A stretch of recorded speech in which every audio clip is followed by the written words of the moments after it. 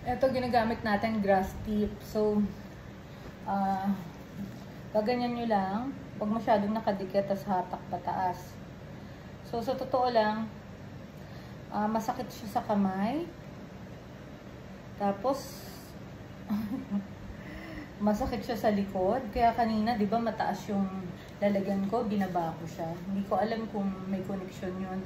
Pero, ah, sakit. Pero, tapusin natin. Ayan.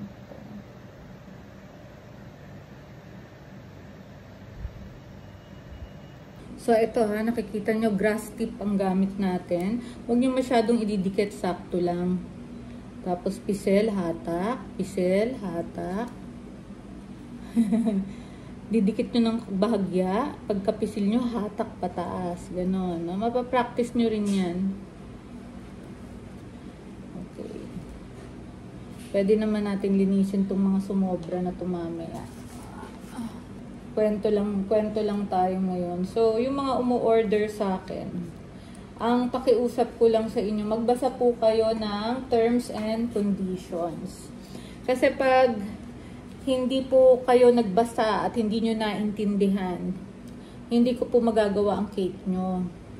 Kailangan ho kung ano ang nakasaad sa terms and condition, yun po ang gagawin natin. So, meron naman po tayong mga cake packages, kaya, pwede kayong mag-inquire para baka sakali, uh, alam nyo na yung pera nyo, kung hanggang saan lang, mapag-uusapan natin, baka pwedeng gawa ng paraan.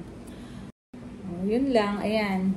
So, ang ginagawa natin ay uh, monster cake. So, kulay red icing dapat, kaso pag kinulayan natin to ng sobrang red, mag-iiba ang lasa nito. So, ang plano ko, mag airbrush na lang tayo. So, yan, nakita nyo, naging color red na siya. Ang, sa tulong ng airbrush. Kung hindi tayo gagamit ng airbrush, wala talagang mangyayari. Kasi, alam naman natin, hindi natin pwedeng ibuhos ang napakaraming color red dito sa ating ginagamit na stable, na non-dairy soft icing. So,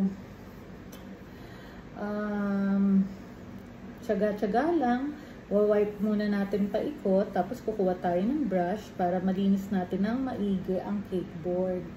So, yung brush, medyo babasain lang ng konti, tapos gaganyanin lang po, ipapahid, palabas, ayan.